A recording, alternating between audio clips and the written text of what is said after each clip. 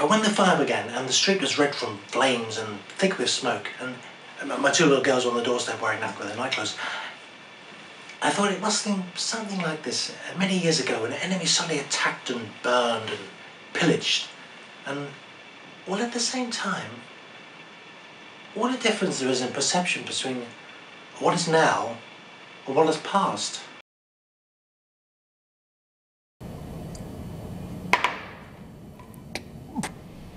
Uh, easy there, Mr. Uh, Hugh Hefner. I just threw up a little bit in my mouth. I'm sure the bunny girls have had worse in their mouths. Huh? Huh? Oh, all right. Mate, uh, pint of Foster's, please, and um, oh, for my friend here.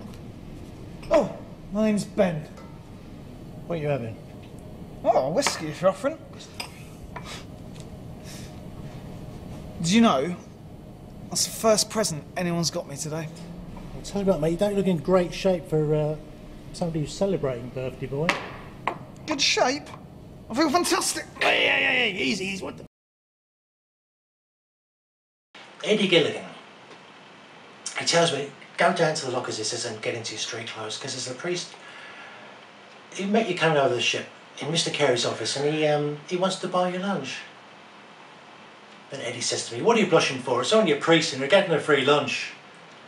Well, I wish I was able to tell him that I don't want to go to lunch with the priest, but Eddie and Mr. Carey might start asking questions.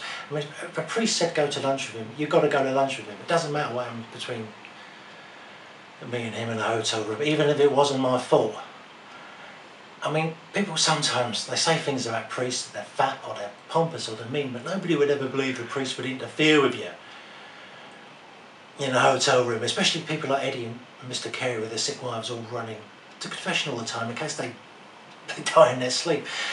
People like that wouldn't be surprised if priests could walk on water.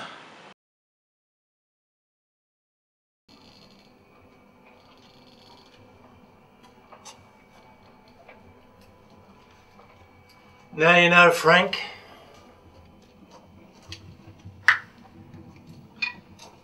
Know what?